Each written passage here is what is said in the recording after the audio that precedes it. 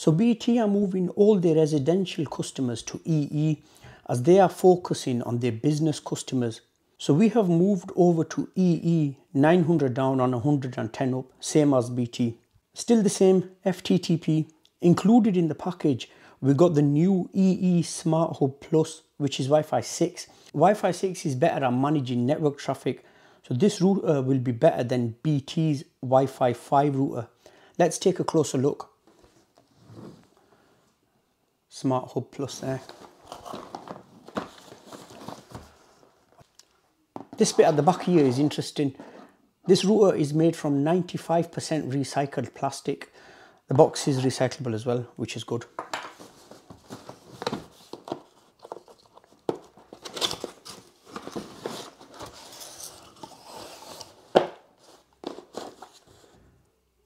So we have a QR code there. You can download the app to get started.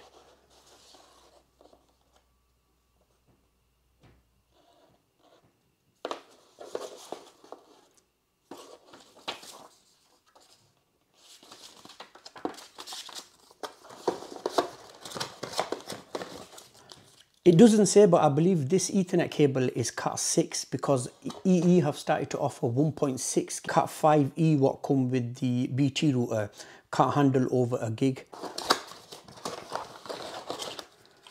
That's the power brick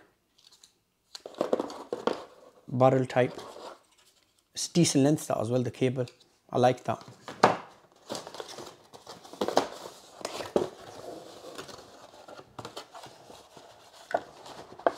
The last thing we have the router nothing else that's all recyclable that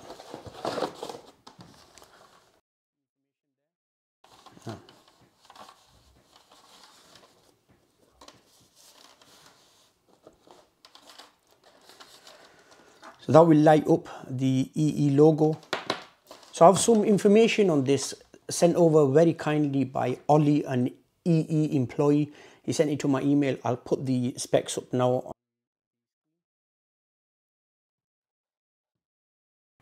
We have a WPS button on this side. At the bottom we have an information sticker and we've got two rubber pads there. At the back and at the top it has plenty of airflow. This does feel slightly heavier than the BT router settings card there. If you remove that you'll have your Wi-Fi password and your hub admin details in there as well if you want to log into the hub.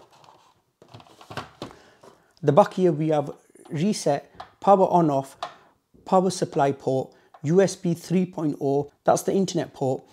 You'd connect one end of this ethernet cable to that and the other end of this ethernet cable to the little ONT box on your wall. That's 2.5 gigabit. We have four gigabit ethernet ports telephone if you take telephone with them. I didn't take telephone. I just got the 900 down and 110 up for 44 pound 99 and i have some mobile contracts with them as well. Broadband port. So if you don't have fttp you have fttc fiber to the cabinet you'll be using that port. But okay i thought before connecting the ee router let's get a speed reading with the bt router uh, which is wi-fi 5 I'm using my iPhone 15, which is Wi-Fi 6. My router is in the hallway, center of the house. I'm in my living room. There's only a door and one wall between us.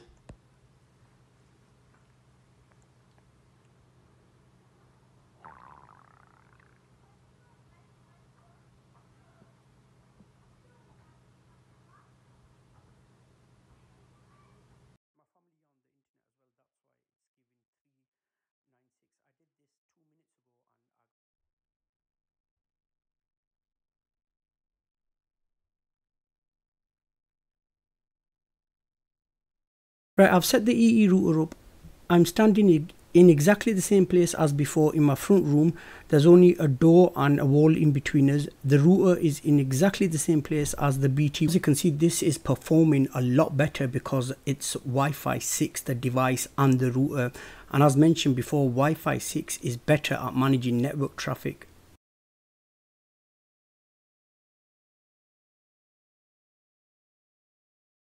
This is a speed test using a Cat6 cable. One end of the cable was plugged into the back of the router, the 1 gig port, and the other end of the cable was connected to my computer. Okay, when you first get this router, it'll be set on performance mode. And as mentioned here, what performance mode does, and then if you are having any issues with your devices, if you have, say, older devices, put it on compatibility. And if you're still having issues, then select Wi-Fi 5 which sort of defeats the purpose I would recommend ring EE tech support up then. Apologies I am unable to show you the web interface because I just can't log in. It's packed in for some reason. So before I give you my overall thoughts on the EE router I should quickly mention the speeds that I am getting they are in my home in my environment. Your outcome will be different to mine. If you are using an EE router let me know in the comment section below what you think or even if you're using a BT router. I have also reviewed other mesh systems and routers. I use my own system. If you want to watch them reviews, leave a link in the description box below and I will also pin it in the comment section below if you're interested in watching them reviews. Okay, so in my opinion, if you get offered the EE router, should you accept it? Absolutely not this router is not ready yet. I have had loads of issues with this. When I connected it up first, I only used it for a week because the Wi-Fi kept disconnecting. I rang EE up and they answered to sell me Wi-Fi boosters. And I said, that's not the problem I'm having because if the router is disconnecting, what will the booster do? And the lady said, well, that's all we can offer. So I said, okay, fair enough. I took this off. I put my own router back on. Then two weeks ago I've connected this up again. I thought let's give it another go. They might have pushed a new firmware out which they haven't. So same thing was happening. Now what's happened is I'm connected to my PC I'm unable to log into the router page so I can't get into the interface there isn't much you can do on there anyway but I just wanted to show you the performance mode and just have a quick look around. I'm unable to do that. So I had an engineer visit yesterday. He said what's the issue? And I explained to him. I said look in my opinion I think this needs a good firmware update but there isn't anything out. So he checked and stuff and he agreed with me. He said yeah you're right. I asked him I said do you have the BT with you. And he said yeah i do but i'm hesitating to give you it because that will be classed as a downgrade. I said look i'm fine with that. I only want it as a backup anyway because uh, i'm going to use my own system and in case there's something wrong with my own mesh system i use the asus xt12 if something goes wrong with that then i'll need a backup so i could use your router. And plus it's good to have the router because when they do tests and stuff they can't do it if you're using your own router. They say we're limited. You will need to have their router plugged in. Uh, so he, he, was like saying i don't know i don't i said okay fine. I'll ring them up and i'll see what they give. So i, I rang ee up this morning and I, and I told them what had happened and i said can you send me a new router up please? And they said yeah. And i asked them could you send the bt one up please? And they said no we can only send you the new ee smart hub plus. I think they've just pushed this router out quickly because bt wanted to merge EE with BT. Obviously, EE has become the main household broadband seller. Another thing about EE, the customer service isn't as good, even BT as well. OpenReach line itself, that's solid. I've had no issues with that. When I was using my own router, I had no issues at all. It's this router. So if you are thinking of upgrading, I'd wait for a bit. If you do have your own system, then yeah, you can upgrade and keep this as a backup. So that's my opinion. Let us know in the comment section below what you think of the EE router if you're using it or even if you're using the BT one.